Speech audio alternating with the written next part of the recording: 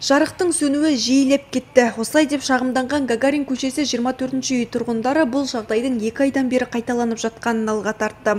Айтуларынша жарық кешкі уақытта 5-6 сағат бойы сөніп тұрады екен. Оқушылар сабақтан келетін мезгілде өшіп қалады деген қарапайым жұрт олардың қауіпсіздігіне алаңдаймыз дейді. Бұрында жарты сағат 15-20 минут өшіретін. Қазір 5-6 сағатқа өшіріп жатыр. Тем более қазір балдардың бәрі сабақтан шығады. Алты жетіде шығады. Алтын өзі тас қараңғы. Кеше он жарымда свет берді.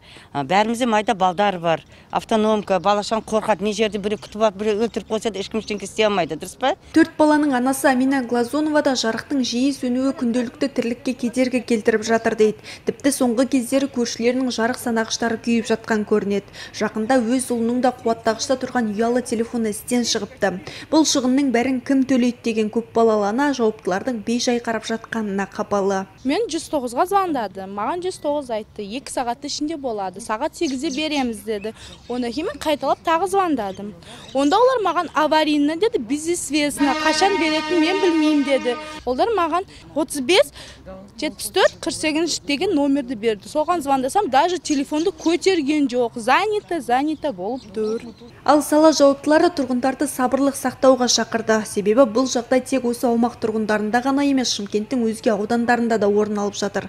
Айтуларынша көгілдір отынның жетіспеушілігінен электр энергиясын пайдалану көрсеткіші жоғарылаған.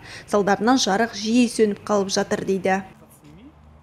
Бүгінгі таңда қалада табиғи газдың жетіспеушілігінен электр энергиясының тұтыну барынша өсті. Осыған байланысты кегок акционерлік қоғамдастығы тарапынан 110 киловатт кейбір желілерін уақытша ажыратумен вл 220 киловатт шиналарындағы кернеу жүктемесі реттелуде. Сондықтан қала аумағындағы елді мекендерде электр қуатының сөнуі жиі орын алуда. Бұл мәселенің қашан шешілетінін дөп басып айта алмаймыз деген жауаптылар тұрғындарды бұл жағдайға байланысты түсіністік танытуға шақырды.